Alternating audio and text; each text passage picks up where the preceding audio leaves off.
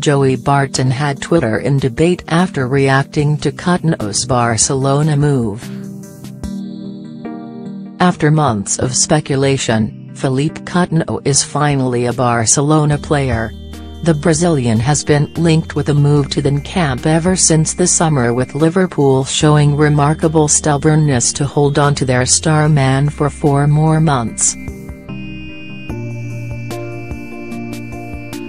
Monster nine-figure bids and a transfer request were no match for the Reds' resolve. Failing attempts to persuade the 25-year-old to remain at Anfield brought a sense of defeat around the club, though, with negotiations flowing freely in January. Philippe was insistent with me, the owners and even his teammates this was a move he was desperate to make happen, Jurgen Klopp revealed on Saturday.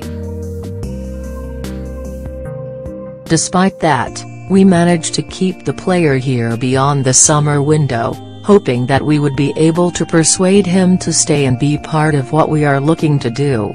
Liverpool sell Coutinho for £142 million. I can tell the Liverpool supporters that we, as a club, have done everything within our means to convince Philippe that remaining part of LFC was as attractive as moving to Spain.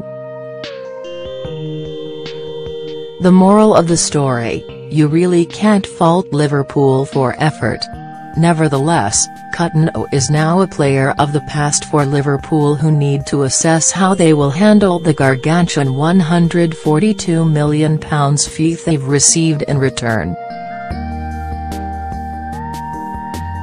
In opinion of some, the price tag is rather inflated for Coutinho who now rubs shoulders with the crazy transfers for Kylian Mbappe and Ousmane Dembele. The ever-controversial Joey Barton has even suggested on Twitter that Liverpool bagged themselves a great deal and inadvertently sparked a series of debates with his subsequent musing.